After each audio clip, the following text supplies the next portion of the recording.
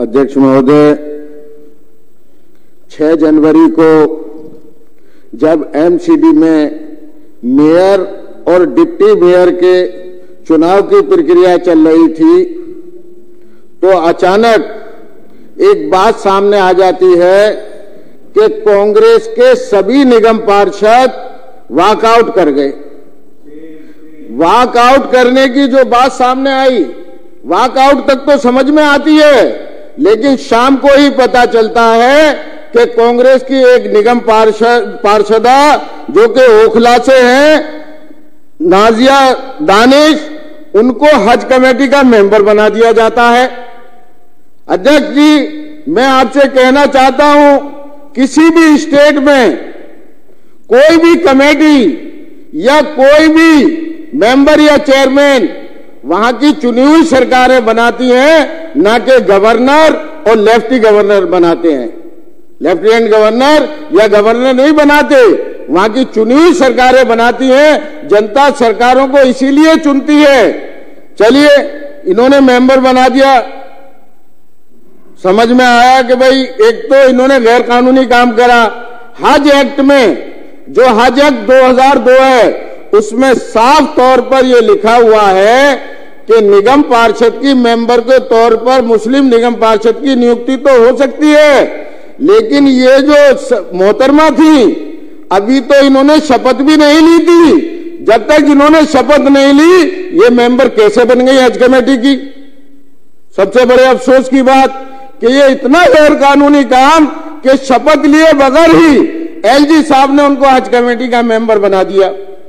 और दूसरी बात, अभी तक हमारे हिंदुस्तान में दिल्ली को जो हो रहा है दिल्ली में, दिल्ली को छोड़कर हिंदुस्तान के किसी भी स्टेट में महिला को हज कमेटी का चेयरमैन नहीं बनाया जाता है, क्योंकि ये एक धार्मिक कमेटी है। हज यात्रा एक बहुत महत्वपूर्ण यात्रा है, जो मुसलमान पर ज़िंदगी में एक बार ही फ़र्ज़ होती है। एमसीडी में चर्चा नहीं करा रहा हूँ पहले पढ़ लीजिए। इसमें लिखा है डिस्कशन ऑन अनकॉन्स्टिट्यूशनल अरे इनको तो ये तकलीफ़ होनी होनी है। हा? क्योंकि इन लोगों को इस तरह के गैर कानूनी काम इन हाँ। बुलवा दूँगा अभी समय संविधान को ये नहीं मानते सुप्रीम कोर्ट को ये नहीं मानते। इनको तो तकलीफ़ होगी इन चीज़ों से। ये बीच में उनका नाम की बाधा तो डालेंगे ही। तो अध्यक्ष जी वो उनका कहना चाह रहा था। वो भी तो हेडिंग क्या है इसका? सब्जेक्ट का हेडिंग क्या है? अध्यक्ष जी क्या है। जिस तरह से गैर कानूनी तरीके से एलजी साहब ने दिल्ली की चुनी हुई सरकार के बगैर ये हज कमेटी को बनाने की कोशिश कर रहे हैं और उसमें भी एक महिला को चेयरमैन बनाने की कोशिश कर रहे हैं, जबकि हमारे इस्लाम धर्म में कोई भी सफ़र जो कि जिसमें मुसाफिर आदमी हो जाता है, कोई भी महिला बगैर महरम के नहीं कर सकती। अगर हमारे दिल्ली के हज यात्रियों को सऊदी अरब में कोई ऊपर वाला न करे कोई समस्या पेश आ जाती है तो अगर ये महिला को चेयरमैन बनाएँगे तो वो बगैर महरम के कैसे सऊदी अरब जाएगी। अब ये कंक्लूड कर रहा हूँ। अध्यक्ष जी ये कहना चाहते हैं ये कह रहे हैं और इनके आका कह रहे हैं कांग्रेस के हमने तो न बीजेपी को सपोर्ट कर रहे हैं न हम आम आदमी पार्टी को सपोर्ट कर रहे हैं। मैं इनको बताना चाहता हूँ पिछले से पिछले बार महाराष्ट्र में जब बीजेपी की सरकार नहीं बन रही थी तो बीजेपी ने सर बस एक मिनट का टाइम लूँगा। बीजेपी ने सदन में अपना विश्वास मत पारित करने के लिए जब सदन बुलाया तो वहाँ दो दो जो विधायक थे वो एमआईएम के थे। एमआईएम के विधायकों ने सदन से वॉक आउट कर दिया और एक वोट से बीजेपी की सरकार बन गई थी। तो अध्यक्ष जी, मैं आपके माध्यम से यही कहना चाहता हूँ कि इनका जो वॉक आउट करना है, ये एमसीडी के अंदर, ये जो कमेटियाँ हैं स्टैंडिंग कमेटियों को बनवाने के लिए ये वॉकआउट कर रहे हैं कांग्रेस वाले और गैर कानूनी तरीके से एलजी साहब जिस तरह से हज कमेटी बना रहे हैं दिल्ली के ही मुसलमान नहीं, पूरे हिंदुस्तान के मुसलमान इसको बर्दाश्त नहीं करेंगे। मेरा आपसे अनुरोध है कि आप अपने माध्यम से एलजी सर, एलजी साहब को ये गैर कानूनी काम करने से रोकिए।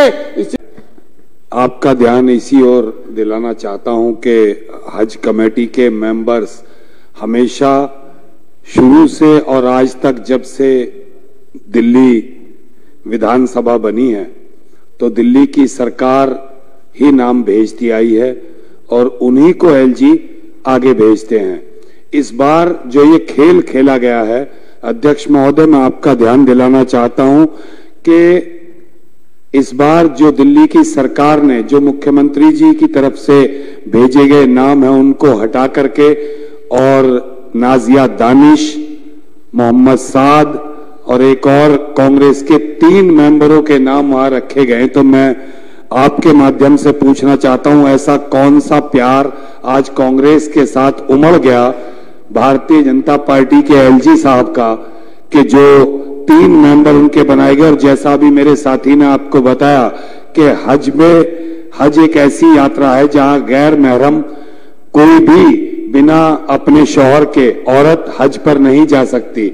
उसको चेयरमैन बनाने का खेल और इसमें एक चीज़ खास आपके ध्यान में लाना चाहता हूँ, अध्यक्ष महोदय। एक चौधरी मतीन अहमद साहब पूर्व एमएलए हैं।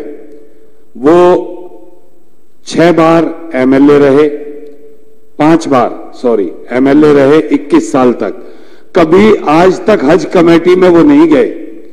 22 दिसंबर को वो अचानक हज कमेटी पहुँचते हैं, वहाँ का दौरा करते हैं और दौरा करके पूरा जाँच पड़ताल करते हैं कि हज कमेटी में क्या चल रहा है, क्या हो रहा है। पूरा वीडियो वायरल होता है और 6 तारीख को जब एमसीडी का इलेक्शन होना था मेयर का, तभी एक लिस्ट आती है जिसमें तीन मेंबर कांग्रेस के हज कमेटी में लिए जाते हैं। अध्यक्ष महोदय सीधा सीधा पता चलता है कि कांग्रेस का चेयरमैन बनाने की कवायद इसलिए हुई कि उनसे सौदा हुआ बाकायदा कि तुम्हें वॉकआउट करना है ताकि स्टैंडिंग कमेटी का मेंबर चौथा ना बन सके। इसलिए मैं अध्यक्ष महोदय, आपको संज्ञान में लाना चाहता हूँ कि जानबूझकर ये मेंबर बनाए गए ताकि एक जो एमपी हैं, उनको भारतीय जनता पार्टी का बनाया गया गौतम गंभीर साहब को तीन मेंबर कांग्रेस के बनाए गए। दो एमएलए मजबूरन आम आदमी पार्टी के इसलिए रखे गए कि दो एमएलए का रहना ज़रूरी है और दो एमएलए ना कांग्रेस के पास थे, ना भाजपा के पास थे मुस्लिम। इसलिए वो दो एमएलए आम आदमी पार्टी के रखे गए। तो मैं तो कहना चाहता हूँ आपके माध्यम से कि इस तरह अगर दिल्ली की चुनी हुई सरकार के कामों में अड़ंगे लगाए गए और ये एक ऐसी वो है हज कमेटी के मुसलमानों को जिस तरह से प्रताड़ित किया जा रहा है कि मतलब अपने मर्ज़ी से किसी को भी मेंबर बनाया जाए और महिला को वहाँ चेयरमैन बनाया जाए तो इसको मुसलमान तो बिल्कुल बर्दाश्त नहीं करेंगे।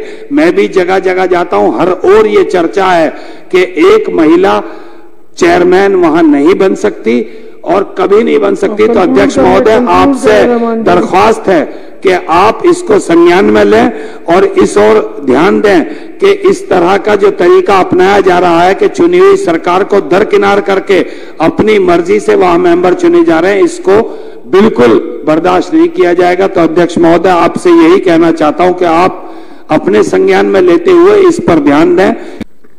अध्यक्ष महोदय, आपने मुझे इस विषय पे बोलने का मौका दिया, इसके लिए आपका बहुत बहुत धन्यवाद।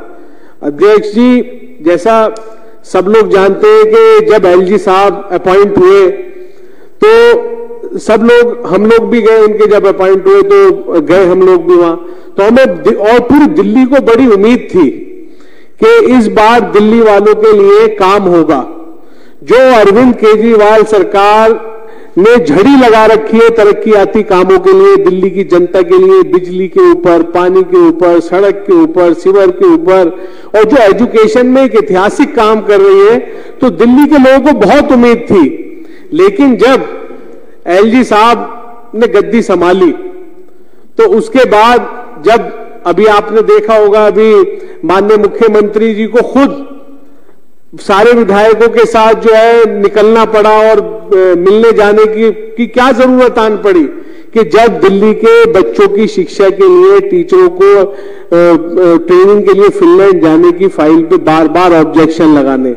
आज जो लोग जल बोर्ड के अंदर सारे काम रोकने पे ऑब्जेक्शन लगाने के लिए सारी फाइलें वापस करने के लिए और उसी के तहत जो जितने भी अनकॉन्स्टिट्यूशनल फैसले आज दिल्ली के एलजी ले रहे और दिल्ली, उन्हें शायद वो ये भूल गए कि दिल्ली की आवाम और देश की आवाम सब जानती है कि आप जो चुनी हुई सरकार के काम रोक रहे हो और चुनी हुई सरकार को परेशान कर रहे हो, दिल्ली की जनता सब जानती है और कहीं ना कहीं अध्यक्ष महोदय ऊपर वाला तो है।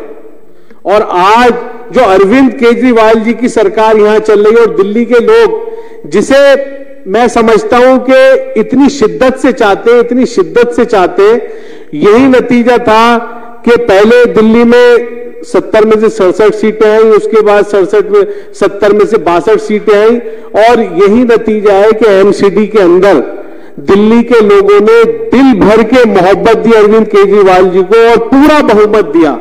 और 6 दिसंबर को 6 जनवरी को जब मेयर इलेक्शन होने जा रहे थे, उसी दिन अचानक वहाँ अनकॉन्स्टिट्यूशनल तरीके से एक दिन पहले 10 एल्डरमैन नियुक्त कर दिए गए। पता नहीं कहाँ से नियुक्त कर दिए गए, क्योंकि एक एक तरीका है। जितनी भी फाइल्स हैं, वो माननीय मुख्यमंत्री जी के थ्रू जाते हैं अपॉइंटमेंट के, और एलजी साहब का काम है कि मुख्यमंत्री और मंत्रिमंडल की एडेड एडवाइस पे उन्हें काम करना है।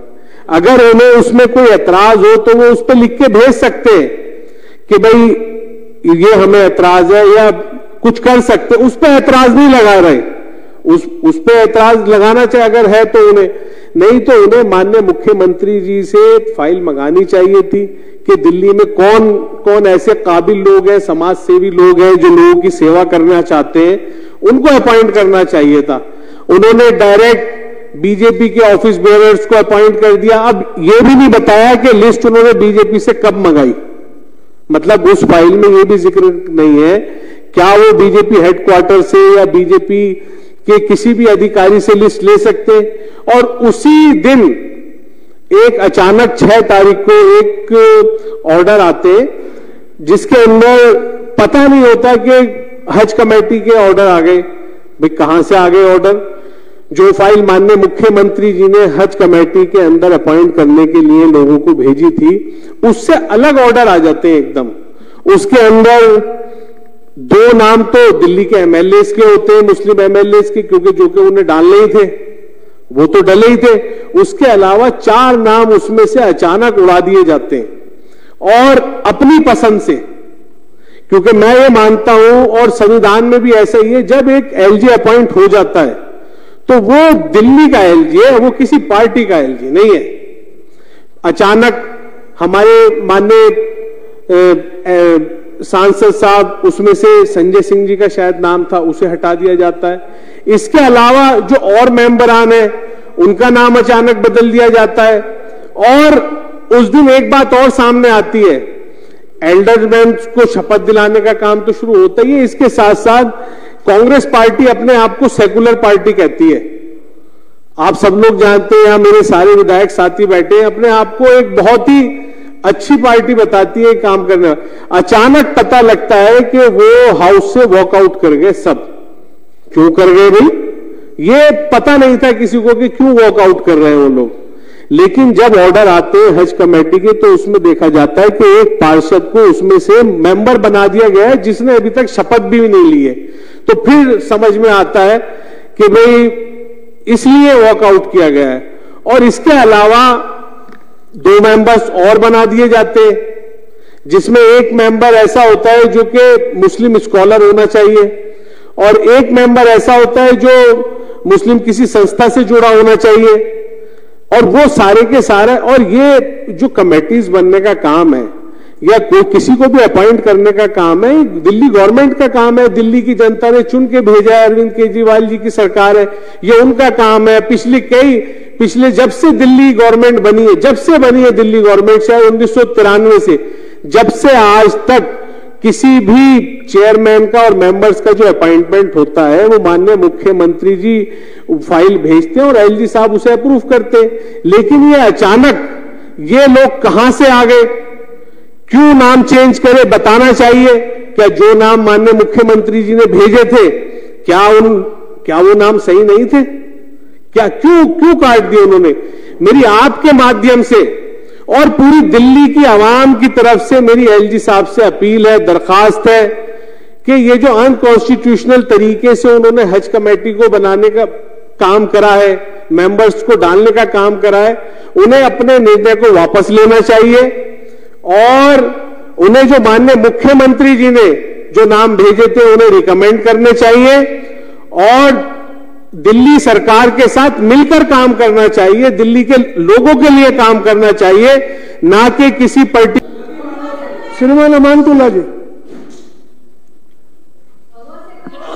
शुक्रिया। प्लीज़ आपने मुझे इस मुद्दे पर जो अहम मुद्दा है उस पर बोलने की इजाज़त दी। अभी एमसीडी का इलेक्शन हुआ और इस एमसीडी के इलेक्शन में आम आदमी पार्टी को 134 सीट मिली और बीजेपी को 104 प्लस 9 113 सीट मिली। क्योंकि कांग्रेस और बीजेपी हमेशा से ये एक दूसरे के भाई बहन और सपोर्टर रहे। आज अगर नरेंद्र मोदी जी देश के प्रधानमंत्री हैं, अमित शाह जी अगर यहाँ के होम मिनिस्टर हैं, ये सिर्फ़ कांग्रेस की देन है। अगर 2002 के दंगों में अमित शाह जी को और नरेंद्र मोदी जी को कांग्रेस ने उनके किए की सजा दे दी होती तो आज ना तो नरेंद्र मोदी प्रधानमंत्री होते, ना अमित शाह होम मिनिस्टर होते, ना आज आरएसएस इस मुल्क में भाजपा को रूल करा रही होती, और यही अब आरएसएस दूसरा क्या कर रही है कि आज आरएसएस से बड़े नरेंद्र मोदी जी हो गए। तो अब नरेंद्र मोदी जी को गिराने के लिए आरएसएस अब जो है राहुल गांधी को सपोर्ट कर रही है यात्रा के अंदर। और ये मैं तस्दीक के साथ कह रहा हूँ, आप पता कर लें। दो लोग हैं, एक तो बेचारे भोले भाले मुसलमान, उनको ये बहका लेते हैं। जैसे दिल्ली के अंदर, ओखला में, सीलमपुर में, मुस्तफाबाद में वहाँ भोले भाले मुसलमानों को इन्होंने बहकाया और वोट हासिल करके नौ सीटें जीत करके आ गए। और ये नौ की नौ सीटें अब ये भाजपा की सीट है। क्योंकि इन्होंने जब ये छह तारीख को शपथ लेनी थी और मेयर का इलेक्शन होना था तो उससे एक दिन पहले जो कांग्रेस के एमएलए रहे हैं, एक्स एमएलए सीलमपुर से, मतीन चौधरी, उसका एक बयान आया कि कांग्रेस के नौ के नौ पार्षद हाउस से बाइकआउट करेंगे। और उन्होंने ऐसा किया भी, क्योंकि इस, इनके बाइकआउट करने से फ़ायदा किसको हो रहा है यह समझने की ज़रूरत है कि जैसे सेंट्रल जोन है, सेंट्रल जोन के अंदर ये हाउस से तो बाइकआउट करेंगे, लेकिन जोन के अंदर जो कमेटी है स्टैंडिंग कमेटी में ये बीजेपी को सपोर्ट करेंगे। जैसे सेंट्रल जोन है, सेंट्रल जोन के अंदर तेरह पार्षद हमारे हैं, दस पार्षद बीजेपी के हैं दो इन्होंने नॉमिनेट कर दिए। दो पार्षद कांग्रेस के हैं जो दोनों ओखला से हैं। और ये दोनों वहाँ राज्यपाल से बाकायदा इनकी सेटिंग हुई। किसी ने कहा कि इन्होंने पचास हज़ार रुपए लिए, इन्होंने पचास लाख पचास लाख रुपए लिए, पचास लाख नहीं लिए। इन्होंने एक एक करोड़ रुपया लिया। और मैं राज्यपाल को जानता हूँ, राज्यपाल को ये सपोर्ट करनी है इनको वहाँ, और उसे वहाँ जिताना है। यहाँ पर ये बाइक, यहाँ पर बाइकआउट करेंगे तो फ़ायदा किसको होगा? वॉकआउट करेंगे तो फ़ायदा किसको होगा? भाजपा को। वहाँ स्टैंडिंग कमेटी में बाकायदा ये वोट करेंगे। और ये भोले भाले मुसलमान बेचारे भूल गए कि ये वही कांग्रेसी हैं जिन्होंने मुरादाबाद ईदगाह के अंदर मुसलमानों को कत्लेआम कराया था, जिन्होंने मलियाना के अंदर मुसलमानों को कत्लेआम कराया था, जिन्होंने हाशिमपुरा के अंदर कत्लेआम कराया था, जिन्होंने बटला हाउस एनकाउंटर कराया था, जिन्होंने भागलपुर के अंदर कत्लेआम कराया तो इन दोनों की हिस्ट्री एक जैसी रही है। वो उधर कत्लेआम करते हैं या उन्हें बचाते हैं? ये इधर कत्लेआम करते हैं या उन्हें बचाते हैं? तो ये एक दूसरे के बहन भाई हैं और इसी को सपोर्ट करने के लिए कांग्रेस ने हमें जो है वॉकआउट करने का फैसला लिया और वहाँ पर सपोर्ट करने का फैसला लिया। अब हम, मैं पूछना चाहता हूँ, भाई ये कहते हैं कि हम, हमें आम आदमी पार्टी के खिलाफ वोट दिया। भाई आम आदमी पार्टी के खिलाफ वोट नहीं दिया। आपने बेचारे को, भोले भाले मुसलमानों को बहकाया, हमारे खिलाफ भड़काया। हम मुसलमान बेचारे भूल गए कि आप तो वही हो जिन्होंने भागलपुर दंगे कराए थे। आप तो वही हो जिन्होंने हाशमपुरी दंगे कराए थे। आप तो वही हो जिन्होंने मासूम मलियाना के अंदर कत्लेआम कराया था। मंदिर, मस्जिद के अंदर, ईदगाह के अंदर। मैंने अभी एक साहब थे, कहने लगे, साहब, हम तो आपसे नाराज़ हैं। मैंने कहा, भाई, क्यों नाराज़ हैं? कि साहब, दिल्ली दंगा और मरकज की वजह से नाराज़ हैं। मैंने कहा, चलो जी, आपकी बात ठीक है। मैं मान लेता हूँ। लेकिन आप मुझे ये बताओ कि पंजाब के अंदर हमारी सरकार है। पंजाब में लुधियाने के अंदर या मलेर कोटले के अंदर, ईदगाह के अंदर नमाज़ पढ़ते हुए मुसलमानों को अगर हम कत्लेआम कर दे तो आप हमें माफ़ करोगे? कि साहब, हम माफ़ नहीं करेंगे। तो फिर मैंने कहा, ये बताओ कि जब ईदगाह, मुरादाबाद ईदगाह के अंदर कांग्रेस की हुकूमत थी और वहाँ पीएससी ने मुसलमानों का कत्लेआम किया था, वहाँ से लाशें भी उठाकर नहीं आ पाए थे तो आपने उनको माफ़ कैसे कर दिया? कहने के साहब, हमसे तो गलती हो गई। अब गलती का खमियाजा मैंने कहा, ये कर रहे हो, आपने बीजेपी जो आपके तमाम बिजनेसमैन को जेलों के अंदर डाल रही है ईडी छोड़ रखी है उलमाओं के जेलों के अंदर डाल रखी है, जो सी एनआरसी में बेचारे मासूम बच्चे, जो जामिया के अंदर प्रोटेस्ट कर रहे थे, जामिया के न जाने कितने स्टूडेंट जेल के अंदर डाल रखे हैं यूएपीए लगा दिया। हमारे उलमा, मौलाना कलीम सिद्दीकी, मौलाना उमर गौतम, उनको जेल के अंदर डाल रखा है। तो जितने भी दिल हिंदुस्तान के अंदर मुसलमान बिजनेसमैन हैं या आलिम है या मुस्लिम लीडरशिप है, उन सबको बीजेपी खत्म कर रही है और उसमें कांग्रेस उनको कहीं ना कहीं सपोर्ट कर रही है। कांग्रेस आवाज़ नहीं उठाती, सिर्फ़ मुसलमानों को हमारे खिलाफ भड़काती है, जबकि हमने तो ऐसा कोई काम किया ही नहीं। आज वो ये कहते हैं कि सब आप आम आदमी पार्टी को हम वोट नहीं डालेंगे, हाउस के अंदर भाई क्यों नहीं डालोगे? हमने क्या किया? हमने क्या नुकसान पहुँचाया? हमने तो ऐसा कोई काम ही नहीं किया जो किसी भी इंसानियत के खिलाफ हो। ना हमने मुसलमान के लिए कोई खिलाफ कोई काम किया ना हमने किसी हिंदू के लिए का, खिलाफ काम किया ना किसी सिख के लिए खिलाफ काम किया।